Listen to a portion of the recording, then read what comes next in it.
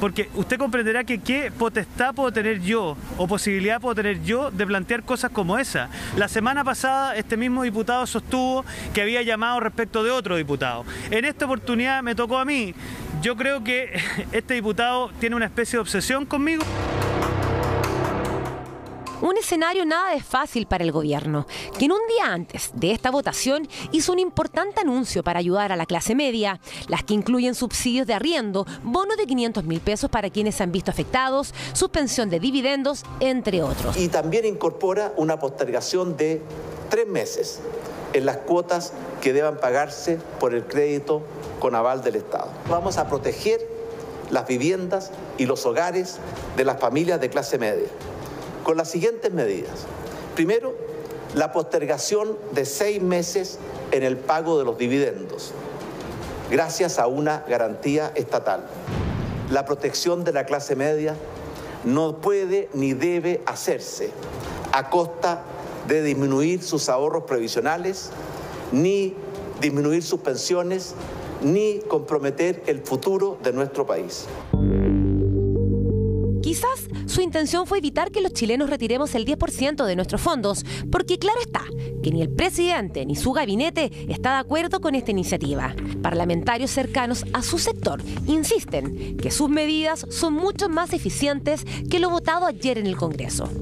Lo que propone el gobierno entrega más plata a la mayoría de los chilenos, llega a más chilenos, es más rápido la entrega de plata que tener que salir a vender la participación de los fondos de las AFP y además no genera un descalabro de las pensiones como genera este proyecto. Hay un subsidio de arriendo de hasta 250 mil, hay una transferencia directa por 500 mil pesos, hay un préstamo hasta por 2 millones de pesos a tasa cero que lo devuelves solamente si tienes pega. Todas estas cosas se suman, no tienes que elegir uno de ellos. A todo lo propuesto, al parecer no fue suficiente para la ciudadanía. Y eso lo dejaron claro con un llamado nacional de cacerolazos el martes por la noche. Era evidente, gran parte de los chilenos no estaba conforme con sus medidas.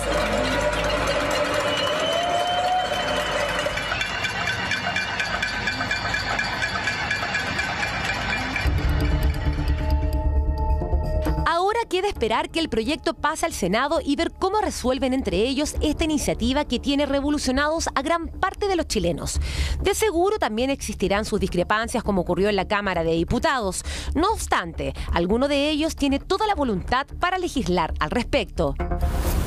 Dijimos desde un comienzo que ojalá los trabajadores no tuvieran que pagar con sus ahorros. Durante la falta de respuesta insuficiente, lentas, tardías y erráticas del gobierno, esta es la solución que se ha encontrado. Yo creo que ahora falta ahora el trámite en el Senado, esperamos aprobarlo para que pueda efectivamente ser ley y dar una respuesta inmediata a todos aquellos y aquellas que lo necesitan urgentemente.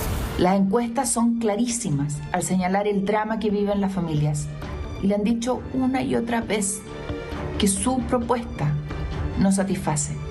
Abrámonos en el Senado a discutir esto el Senado va a discutir el 10% de los trabajadores. Lo que va a ocurrir es que van a sufrir los créditos hipotecarios. Las AFP, Humberto, tienen 55% de sus inversiones afuera y 45% en Chile. Si tienen que traer dólares, eso va a también impactar en la baja del dólar. Entonces, ¿qué va a significar esto? Va a significar que por la premura en la venta va a haber un perjuicio. Va a haber un perjuicio porque hay gente que dice, ah, yo tenía un millón, puedo retirar 10%, me va a tocar 100 bueno, pero es que si los fondos bajan, no le va a tocar 100. Y al lado puede haber una persona que no quiera utilizar este beneficio, pero se va a ver igualmente perjudicado porque sus fondos van a bajar porque va a haber, que, haber sido necesario vender a la carrera. El proyecto ya está aprobado por la Cámara de Diputados. Logró vencer al oficialismo con un gallito final. Si bien se rechazó la idea de crear un fondo solidario, ahora es turno del Senado ver cómo mejorar este proyecto. Sin embargo, aún queda un largo camino por recorrer. Estamos presentando Contigo en directo. Desde el estallido social que no se escuchaban tan fuerte las cacerolas, la noche del martes cientos de personas salieron a sus balcones y algunos a las calles a manifestarse en favor del retiro de fondos de las AFP. Sí, sí, porque yo estoy de acuerdo en que aprueben el proyecto del 10%, porque existe varias gente que no tiene los medios económicos. Yo por lo menos lo voy a hacer, porque a mí, me, a mí me conviene, porque mi pensión cuando yo sea, ya me, me tengo que jubilar, va a ser de nada que con esto vamos a hacer frente, sobre todo donde vivo yo y otras poblaciones que está bien complicada la cosa. Bueno, serviría el bono, pero mejor prefiero la plata del FP. Y es que al parecer el nuevo plan para la clase media anunciado por el gobierno aún no convence del todo a la ciudadanía. Y si todavía no sabe de qué se trata, acá se lo explicamos. En el anuncio del 6 de julio no se contemplaba de aprobarse en el Congreso se entregará un bono no reembolsable de 500 mil pesos a quienes estén cesantes con contrato suspendido, a honorarios o por cuenta propia que han visto reducido su sueldo en al menos 30%. El requisito es que antes de la pandemia hayan tenido una remuneración mensual bruta entre 500 mil y 1,5 millones de pesos. También habrá un monto decreciente para quienes estén por sobre esa cifra. ¿Cómo se acredita esta condición? Que, que sean formales quiere decir que hay registro de esos ingresos.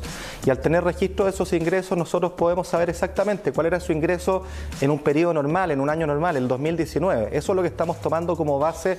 Pero ya hay algunos que creen no calificar en el beneficio. Sería ideal si si le llega. Que me llegara, pero lo hay muy difícil. No cumplo con los requisitos porque yo mi sueldo es de 206 mil pesos. Ahora último está recibiendo 480. Le llaman préstamo solidario del Estado porque no será la banca la que entregue el beneficio, sino la Tesorería General de la República a tasa de interés real cero. Podrá solicitarse hasta por cuatro cuotas con un monto máximo mensual de 650 mil pesos y se comenzará a pagar el año 2022. Si no lo puede devolver, se condona. Creo que hay una problemática mucho más global, mucho más transversal, que no se limita a la clase media y que es el sobreendeudamiento. Un sobreendeudamiento que está obligando a las familias chilenas a destinar gran parte de sus ingresos mensuales solamente a pagar deudas. Se podrá postergar el pago de dividendos hasta por seis meses a través de una garantía estatal. La medida estará enfocada en primeras viviendas de hasta 10.000 UF y la mora no podrá superar los 29 días.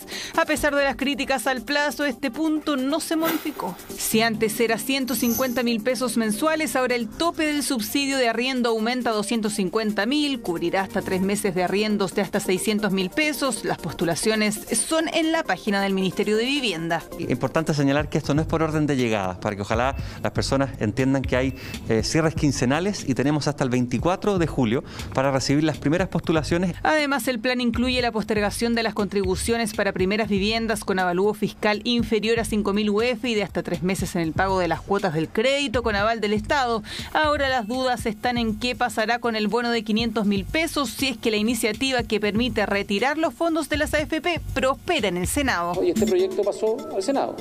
Esperamos convencer al Senado de que la propuesta que ha presentado el gobierno es mejor, es más justa, ayuda de mejor manera a la clase media y por lo tanto que esa sea la iniciativa que se pueda materializar. Durante la tarde de este miércoles, bocinas y cacerolazos se volvieron a escuchar en algunos lugares de la capital luego de que los diputados despacharan el proyecto que permite retirar el 10% de los fondos de pensiones.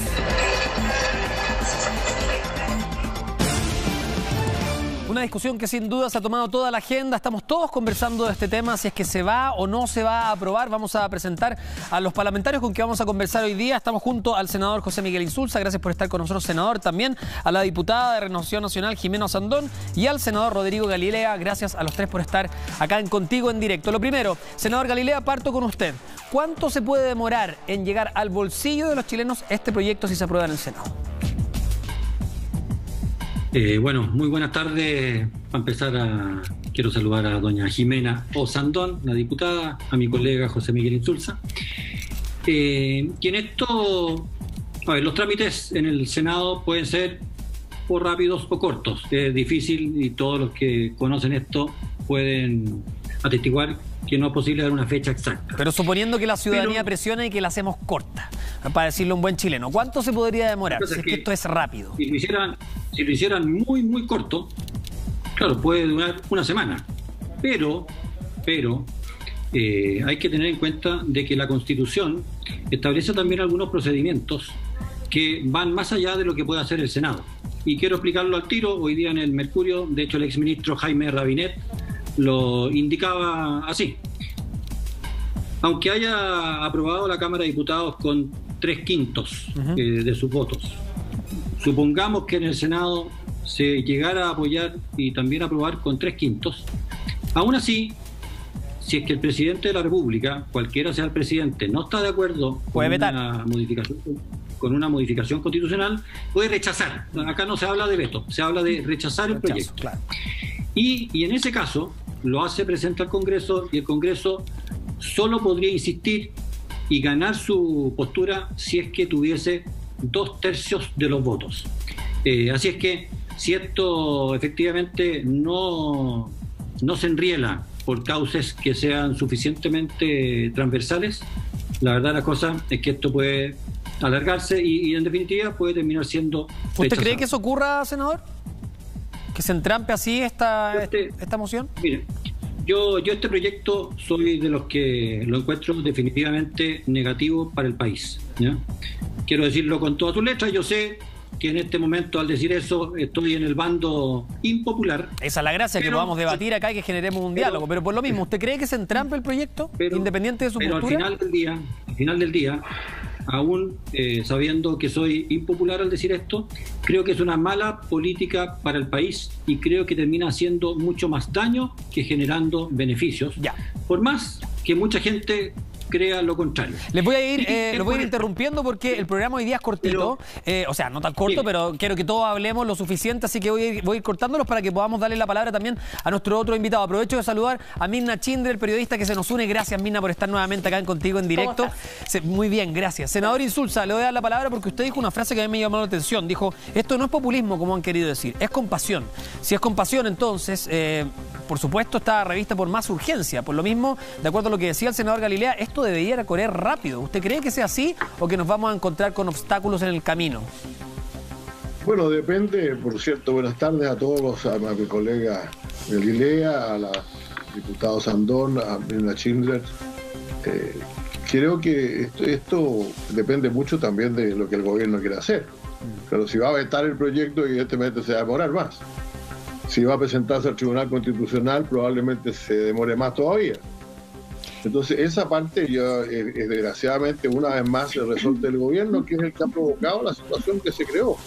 Nosotros le venimos diciendo a este gobierno hace ya varios meses que la clase media de este país está teniendo problemas. Y no estoy hablando de la clase media profesional más arriba, sino que estoy